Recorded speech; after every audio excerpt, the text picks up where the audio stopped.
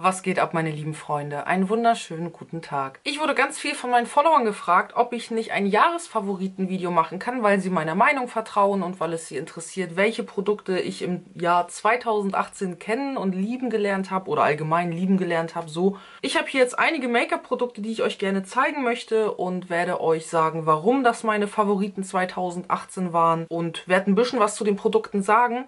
Alle Produkte findet ihr in der Infobox verlinkt. Falls ihr sie kauft, kauft sie gerne über die Links in der Infobox. Das sind Affiliate-Links. Das heißt, ich bekomme dann so ein bisschen Provision, also gönnt dem Bruder mal. Alle Produkte, die ich euch in diesem Video zeige, werde ich mir auf jeden Fall nachkaufen. Ich kann sie zu 100% empfehlen. Bei mir funktionieren sie. Es sind auf jeden Fall ganz, ganz tolle Produkte und ich freue mich mega doll, dass ich so viele Favoriten gefunden habe. Aus manchen Kategorien habe ich sogar zwei, drei Stück.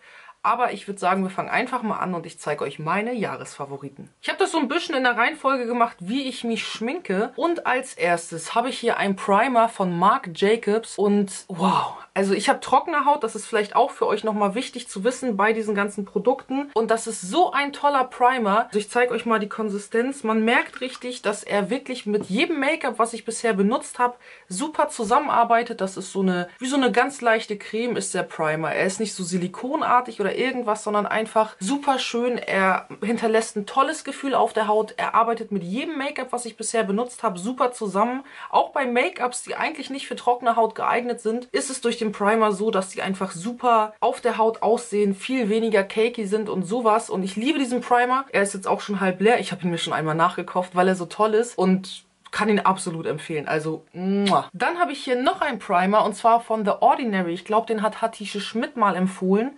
Und zwar ist das der High Spreadability High Spreadability Fluid Primer. Auf jeden Fall von The Ordinary. Ihr findet ihn ja in der Infobox. Und das ist auch ein guter Primer. Er ist jetzt nicht mein Nummer 1 Primer wie der von Marc Jacobs. Aber es ist auf jeden Fall einer, den ich auch immer wieder nachkaufen werde, weil er gefällt mir sehr gut. Die Konsistenz ist so ein bisschen schwierig zu beschreiben. So eine Mischung aus Öl, Wasser, irgendwas. Er arbeitet auch sehr gut mit Foundations zusammen. Er hinterlässt ein sehr schönes, weiches Hautgefühl und ist im Preis-Leistungs-Verhältnis nicht zu schlagen. Also auch ein toller, toller Primer und das war so, doch, das war auch für mich ein Favorit dieses Jahr, weil es einfach gut. Und der letzte Jahresfavoriten-Primer ist vom Becca der Backlight Priming Filter Primer. Ich sehe schon hier im Licht, dass er nur noch so wenig drin hat. Das heißt, ich muss mir schnell mal einen Nachschub besorgen. Das ist einer, der hat so, so einen Glowy-Effekt mit drin. Also ihr seht hier auch die Konsistenz wie so eine leichte Creme. Und wenn man den benutzt, macht er, er sorgt dafür, dass die ganze Haut so ein bisschen frischer aussieht. Ich weiß nicht, ob man das in der Kamera Kamera erkennen kann. Ich glaube nicht. Aber es ist halt wirklich so ein Primer, dass manchmal sieht meine Haut so tot aus und so fahl und alles so grau und komisch. Und wenn ich den benutze, wirkt das ganze Make-up einfach viel frischer und wacher. Und auch wenn ich jetzt ungeschminkt bin und ihn nur so rauf tue, aber ich benutze ihn meistens unter Make-up, weil es halt auch High-End, nur so um frisch auszusehen. Also ich weiß ja nicht. Und ich mag ihn sehr, sehr gerne. Und ich glaube, das ist sogar der beste Primer bisher, den ich von Becca habe. Ich habe auch einige andere, aber da teste ich noch rum. Aber er sorgt für ein schönes Make-up, er macht einen tollen Effekt, wenn man halb tot aussieht und so, so nicht zu viel Glow, nicht zu wenig und arbeitet auch super mit Make-up zusammen. Dann habe ich hier drei Jahresfavoriten-Abdeckprodukte. Und zwar erstens von Becca der Under Eye Brightening Corrector. Den gibt es in zwei Farbtönen, aber kauft ihn euch, wenn in Rosé, in diesem Rosé-Ton. Also ihr seht, er ist auch fast leer. Ich habe mir aber schon neuen gekauft, weil er halt fast leer ist. Das ist wirklich, das habe ich auch von Hattische Schmidt kennengelernt. Das ist so ein, weiß ich, du packst ihn, egal ob du geschminkt bist, ungeschminkt bist, unter deine Augen und siehst viel frischer und wacher aus. Durch diesen Rosé-Touch passt er wirklich zu den meisten Haut Hauttönen und ist einfach eine super Investition, weil er, er sorgt dafür, dass du nicht so tot aussiehst. Er kaschiert deine Augenringe nicht komplett, gerade bei mir, ich habe Augenverfärbung, aber er sorgt dafür, dass du einfach wacher und frischer aussiehst und ist deswegen ein super Produkt. Ebenfalls zum Abdecken, auch von Becker, habe ich hier den Backlight Target bla bla bla Corrector in Papaya. Das ist so ein roter Corrector, den packst du auch unter die Augen, gerade bei dunklen Verfärbungen. Manche machen das ja, dass sie Lippenstift und so dahin packen. Na, weiß nicht, finde ich nicht so gut, auch von der Konsistenz und alles. Und ich habe schon viele rote Corrector gehabt, aber der gefällt mir am besten von der Konsistenz, vom Einarbeiten, weil man muss halt bedenken, du nimmst so ein rotes Zeug, packst es dir hier hin, arbeitest es ein und wenn du schlecht machst oder das, das Abdeckzeug nicht gut ist, mischst du deine Foundation mit rotem Scheiß. Also ist mir auch schon passiert bei schlechten Produkten und den hier mag ich einfach super gerne. Er ist super von der Konsistenz, man kann damit echt schön diese Augenringe abdecken. Danach arbeitet man halt mit anderen Produkten, aber das Rot sorgt dafür, dass so gerade ganz dunkle Augenringe und so richtig heftig abgedeckt sind. Also er überdeckt das, aber man muss es natürlich auch sehr gut einarbeiten, womit wir zum nächsten Favoritenprodukt kommen. Beauty Blender.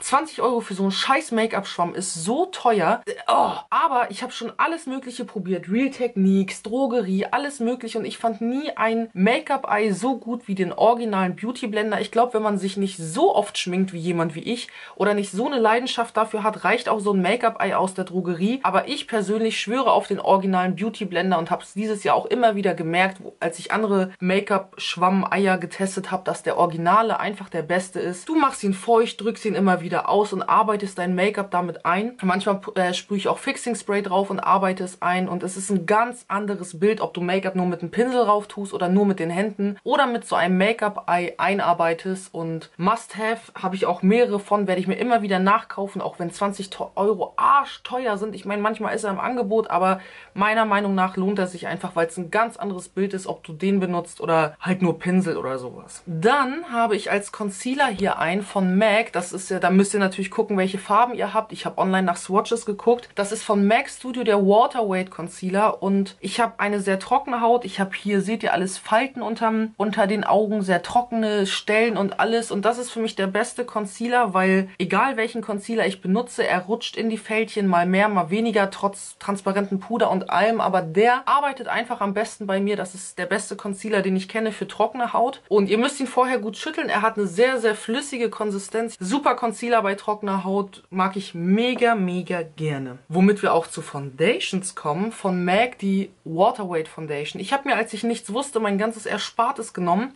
auf den Kopf gehauen und von MAC alle Foundations, die sie haben, Pro Longwear, Bla, Studio Fix und sowas in meinem Ton gekauft, bis ich gemerkt habe, du, die sind gar nicht alle für trockene Haut geeignet. Und die Studio Waterweight Foundation ist mega toll bei trockener Haut. Man kann sie sehr, sehr, sehr schön aufbauen. Man hat ein schönes Finish damit. Man kann gut abdecken. Sie ist nicht zu schwer, sie ist nicht zu leicht. Du kannst damit einen 50 Kilo künstlichen Look machen, wenn du aufbaust. Du kannst ein ganz leichtes Make-up machen und das ist eine meiner absoluten Lieblings-Foundations, auf die ich immer wieder schwöre. Je nachdem, möchte ich ein leichtes Tages-Make-up, möchte ich ein krasses Fire-Make-up, aber ich mag sie sehr, sehr, sehr gerne. Dann die zweite Foundation, die ich dieses Jahr kennengelernt habe und liebe, obwohl sie nicht für trockene Haut geeignet ist, wird so gesagt, ist von Fenty Beauty die Pro Filter Foundation, also für von Rihannas Marke. Man muss wirklich mit einem guten Primer arbeiten und sie sehr gut verteilen und aufbauen. Wenn man zu viel davon nimmt, wirkt sie schnell cakey. Aber wenn du jetzt einen guten Primer hast, wie zum Beispiel dieser Marc Jacobs Primer für trockene Haut oder einen anderen, je nachdem, was man halt gerne mag und nutzt, ist das eine richtig schöne Foundation. Die sieht richtig flawless aus. Teilweise wurde ich angesprochen, ey, was trägst du für eine Foundation und so. Ich denke so, erzähle ich dir sofort, so, hab mich mega gefreut. Also die Fenty Beauty Foundation, echt cool. Ich habe die live in Paris bei Sephora gekauft, weil per Swatches ist es sehr, sehr schwer, finde ich, seinen richtigen Ton zu finden. Ich habe ihn Gott sei Dank gefunden. Ja, ich mag die einfach richtig gern und freue mich, dass ich einen passenden Primer gefunden habe. Ich benutze da verschiedene, aber immer so Marc Jacobs, Smashbox, also welche für trockene Haut, damit das gut damit arbeitet. Aber auch eine sehr schöne Foundation, die ein richtig tolles Finish hinterlässt, sich schön verarbeiten lässt und sehr, sehr ergiebig ist. Dann, das letzte Foundation-Ding, habe ich hier das war so ein kleiner Geheimtipp von so einer MAC-Verkäuferin. Das ist von MAC Studio die Face and Body Foundation in der Farbe Medium Deep Pearl. Und das war so ein kleiner Geheimtipp. Ich, wenn ich meine Foundation und so drauf habe, Concealer und den ganzen Kram, nehme ich ein bisschen hiervon auf meinen Handrücken, nehme so einen Stibbling Brush und verteile das nur. Und ich zeige euch das mal. Die hat so ein, ganz, ganz wenig nehme ich nur, ne? Und die hat so einen schönen glowy braunen Finish. Also man sieht dann wirklich so aus. So richtig fresh und sonnengeküsst. Ich weiß nicht, ob ihr es hier sehen könnt. So. Ich nehme dann so einen Stippling Brush, verteile die und dann arbeite ich es nochmal mit einem Beauty Blender ein. Ich glaube, das sieht man jetzt leider nicht so auf der Hand. Aber man sieht danach so richtig frisch und glowy aus. Also wenn ihr so ein bisschen in die Richtung von meinem Hautton geht. Ich habe bei MAC NC35 oder so einen olivfarbenen Ton habt oder sowas wie ich, ist das ein tolles Ding, was wirklich so, so ein Make-up Topper ist, welcher frisch und sonnengeküsst aussehen lässt. Dann habe ich hier zwei transparente Puder, die ich dieses Jahr das erste Mal benutzt habe, die ich liebe, die so heftig sind. Einmal ein gepresstes Puder und zwar ist das von Wonder 2 das Perfect Selfie Puder. Das war ja ganz, ganz viel hier auf Instagram und Facebook mit so Werbung. Also ich habe auch schon Okay. Ich habe auch schon sehr, sehr viel davon benutzt. So sieht das aus. Und das ist halt, es sieht halt sehr abgenutzt aus. Es ist so ein gepresstes, loses Puder. Und wenn du das drauf machst über deine Augen, geht der Concealer halt nicht so in die Ritzen, wenn du es vorher schon bearbeitet hast. Wenn du es über dein Gesicht machst, sieht dein Make-up viel, viel schöner aus. Viel mehr so, nicht cakey, flawless, so richtig so, so ebenmäßig. Ne? Also das ist ein sehr, sehr, sehr gutes Fixing-Puder. Das mag ich richtig gern. Werde ich mir auch immer wieder nach kaufen, weil ich mag so gepresste Puder sehr gerne. Aber ich habe auch ein loses Puder gefunden. Das ist so heftig, Diggis. Ciao. Und zwar auch von Marc Jacobs, das bla bla bla Invisible Finish Line Puder. Das ist ein loses. Es hat einen sehr angenehmen, ganz leichten Kokosgeschmack. Das hat hier so ein Netz zwischen. Das finde ich sehr, sehr gut. Es hat so einen ganz leichten gelben Stich vom von der Farbe vom Puder. Und wenn ich das in meinem Gesicht verteile, ich muss mal aufpassen, dass ich nicht zu viel nehme, aber das Netz finde ich schon sehr gut. Diese losen Puder ohne Netz, die gehen mir immer so auf die Nerven. Diggis, wenn man das drauf macht, ich habe auch schon ein zweites hier, wenn das leer geht, ich brauche direkt Ersatz. Wow, dein Make-up sieht so wie bei einer Puppe aus teilweise, ne? Also wirklich so, wow, äh, wow. ich war so froh, dass ich das gefunden habe. Und ein transparentes Puder passt ja zu jedem Hautton. Egal, ob du gerade ganz hell bist, der zuguckt, oder ob du ganz dunkel bist. Und das ist so ein gutes Puder, das hat mich null enttäuscht. Also Props an Marc Jacobs, korrekt, dass er Make-up rausgebracht hat. Und das ist wirklich sehr, sehr schön. Da muss man gucken, also je nach Laune benutze ich das oder das. Also das ist immer verschieden, aber ich kann beide transparenten Puder absolut empfehlen. Einfach zum Abmattieren. Ich glaube, bei fettiger Haut sind die auch fresh. Oder einfach nur um zum Fixieren und so. Also wirklich wow. Dann habe ich hier eine, wie heißt das? Konturpalette. Und zwar ist das von NYX in der Farbe Fair. Fair ist eigentlich viel zu hell für mich, aber ich habe sie auch in anderen Farben und finde Fair einfach am besten. Guck mal, hier habt ihr nochmal den Vergleich mit Light. Und da finde ich den Ton schon fast zu dunkel zum Konturieren und nehme ihn als Bronzer, aber ich mag hier den gelben Ton sehr, sehr gerne. Und bei Fair ist es halt wirklich so, der Highlighter, keine Ahnung, ist jetzt nicht so spannend, ist nichts Halbes und nichts Ganzes. Also für mich persönlich nicht reizvoll, da habe ich genug andere Highlighter. Aber wenn ich so einen richtig schönen künstlichen Look nehmen will, nehme ich dieses sehr helle Puder, um hier die Konte zu betonen. Und der Ton da drin ist sehr, sehr gut zum Konturieren. Er ist sehr aschig. Du kannst schön dein Gesicht damit modellieren und doch, man, weil die anderen Farben sind mir viel zu warm von den Konturierpudern in diesen NYX-Paletten. Und meistens mag ich, ah, die meisten Konturpaletten, weiß nicht, die sind immer so schwierig. Das muss ja zu so vielen Hauttypen passen und so. Aber die gefällt mir richtig, richtig gut. Werde ich mir auch auf jeden Fall nachkaufen, weil ich konturiere am liebsten mit diesem Ton und je nachdem, ob ich einen sanften, so ganz leicht mein Gesicht modelliert haben möchte, nehme ich halt einen anderen Unterton oder so einen richtig geilen künstlichen Look, weil ich halt dunkler bin, dann nehme ich diesen hellen. Aber zum Konturieren schwöre ich auf diese NYX Palette. Dann habe ich für Lidschatten, ich habe dieses Jahr meine Liebe zu Lidschatten kennengelernt. Als Lidschattenbase nehme ich ganz oft Concealer oder so, aber am liebsten nehme ich von MAC den Pro Longwear Paint Pot und der ist so ergiebig, Diggis. Das ist so ein Roséton. Ich habe Painterly, ich habe auch so einen anderen in so eine Richtung gelb, aber Roséton, du kannst so toll mit Lidschatten drauf arbeiten. Du musst es halt drauf tun. Einarbeiten mit einem Beauty Blender, transparentes Puder und du hast eine wunderschöne Base, um Lidschatten zu bearbeiten durch den Rosé-Stich. Siehst du auch noch fresh aus, also beste Lidschatten-Base ever. Dann, die Gieß, habe ich hier als mein persönliches Favoriten-Augenprodukt ein Lidschatten von MAC. Das ist der Lidschatten Concrete. Das ist so ein dunkles, mattes Braun. Ihr wisst, ich habe sehr, sehr problematische Augenbrauen und verkacktes Microblading und muss da immer nachmalen und nachzeichnen. Und ich habe alles probiert. Dip Pomades, Augenbrauenstifte und sowas. Und alles war zu hart. Aber mit so einem Puder kann ich sehr, sehr gut arbeiten. Und diese MAC-Farbe passt gut zu mir. Die habe ich jetzt gerade auch drauf und arbeite da einfach am liebsten liebsten mit Puder bei, meinem Au bei meinen Augenbrauen mit diesem MAC Lidschatten. Dann habe ich hier von Maybelline so einen Mascara Primer. Den tue ich gerne drauf. Ich mache dann eine Wimpernzange, push meine Wimpern nach oben. Ich habe nämlich gerade kurze Stummelwimpern. Benutze dann diesen Primer von Maybelline und danach tue ich normale Mascara drauf und die Wimpern sind dadurch viel, viel länger, viel schöner im Ganzen und ich mag das sehr, sehr gerne, diesen Maybelline Lash Primer. Normalerweise halte ich nicht so viel von diesen weißen Primer-Dingern, aber Den finde ich richtig, richtig gut und deswegen kann ich ihn auch sehr empfehlen als Mascara vor der richtigen Mascara. Dann als zweite Mascara, die ist sogar fast schon leer, habe ich hier von MAC eine. Und das ist im Moment und seit vielen Monaten meine absolute Lieblingsmascara. So eine Bürste hat sie und die sorgt wirklich dafür, dass du einen schönen Schwung in den Wimpern hast. Sie sorgt für Volumen und Länge und das mag ich richtig, richtig gern. Ich mag die Bürste auch sehr, sehr gern davon. Und das Ding ist, du kannst die Mascara auch drauf tun, wenn du schon so Mascara drauf hast wie ich jetzt. Sie macht deine Wimpern länger, voluminöser und deswegen ist das meine Lieblingsmascara, die ich eigentlich immer benutze, außer ich teste gerade eine andere. Dann habe ich hier einen Kajalstift von Wonder 2. Das ist so ein roter Ton. Ich zeige ihn euch mal. Und das ist ein richtig, richtig toller Kajalstift. Also ich habe schon so viele getestet. Waterproof und schmierfest und wischfest. Da war gar nichts schmier- und wischfest. Aber die hält wirklich was aus. Ich habe jetzt noch nicht geweint, als ich sie drauf hatte. Aber ich habe schon so 18 Stunden ein Make-up mit diesem Kajalstift drauf gehabt. Und es ist nicht krass verschmiert. Es ist nicht krass in die Falten gerutscht. Es ist da geblieben, wo es sein sollte. Und ich werde mir viele weitere Farben davon holen. Die habe ich geschickt bekommen zum Testen. Das waren so verrücktere Farben, so dunkel Rot, Blau, Grün und sowas. Aber ich werde mir die normalen Farben auch nochmal holen. Braun, Schwarz, was weiß ich. Weil dieser Super Stay Liner ist wirklich der beste Kajal, den ich bisher getestet habe. Und wirklich schmierfest und sowas. Also der ist hammertoll. Ich habe sogar noch einen zweiten Kajal gefunden. Der ist fast so gut wie der von Wonder 2. Und zwar von Maybelline. Das ist so ein Gel-Kajalstift. Hier seht ihr das so zum Raus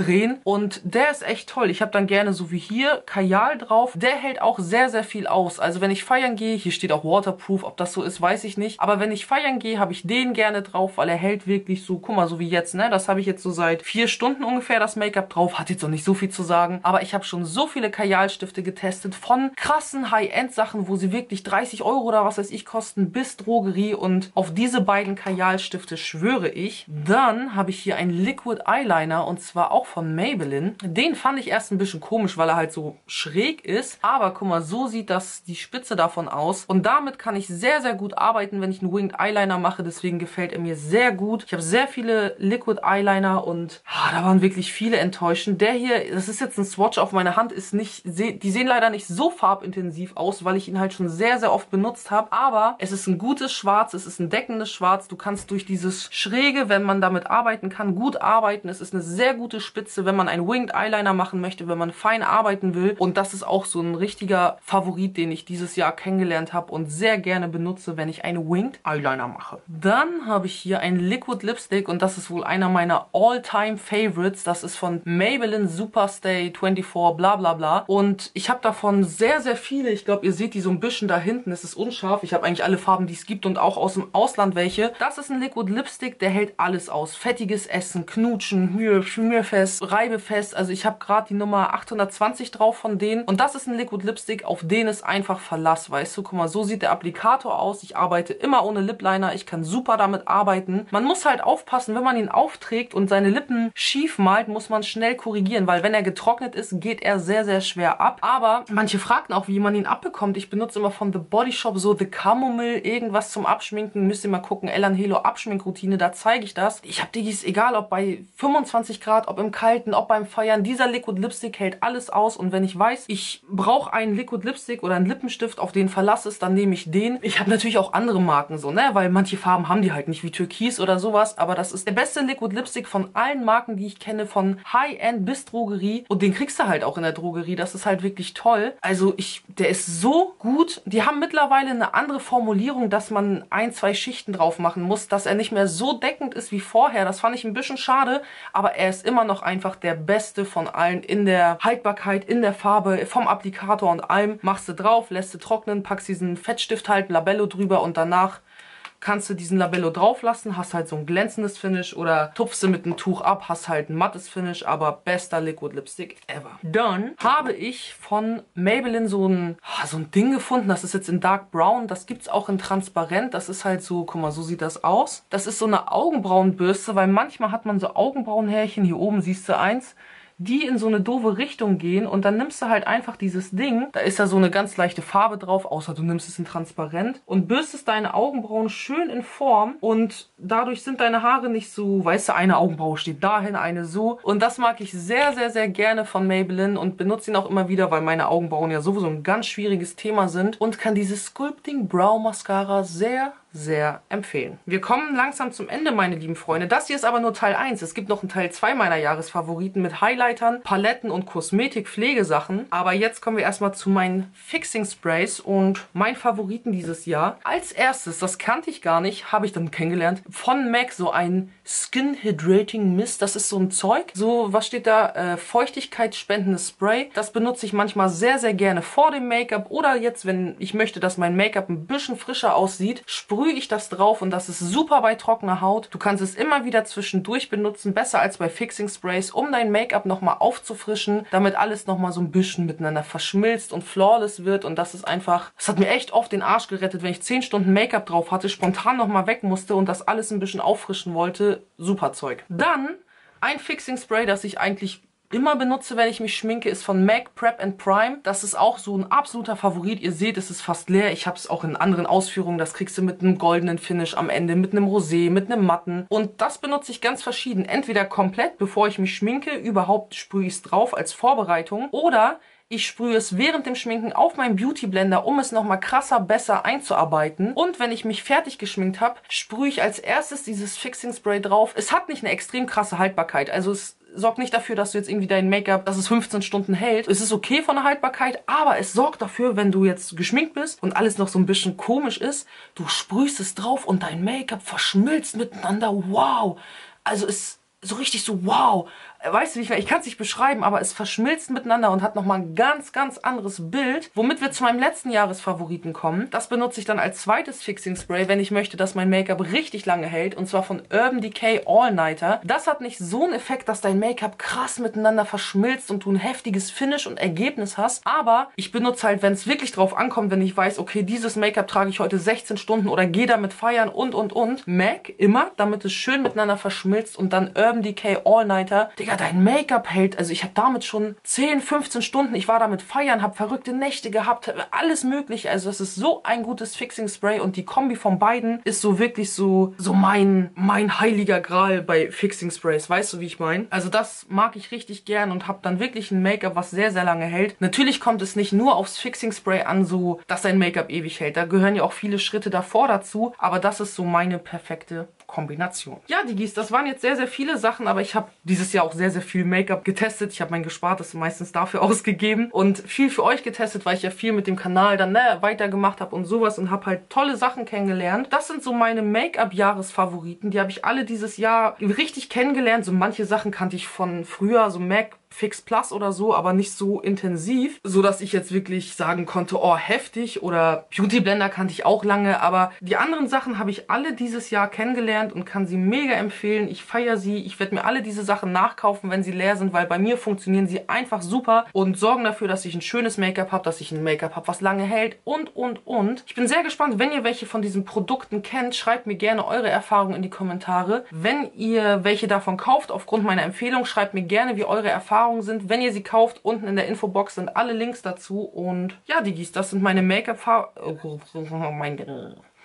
Sind meine Make-up-Jahresfavoriten. In Teil 2 werdet ihr Pflegesachen sehen und Highlighter, Lidschattenpaletten und sowas alles. So viel dazu. Und dann bin ich sehr gespannt auf eure Kommentare. Lasst mal einen Daumen nach oben auf, korrekter Bruder. Und in diesem Sinne freue ich mich sehr auf eure Kommentare. Ich bedanke mich bei euch fürs Zuschauen und sage Tschüsschen mit Küsschen. Und auf Wiedersehen.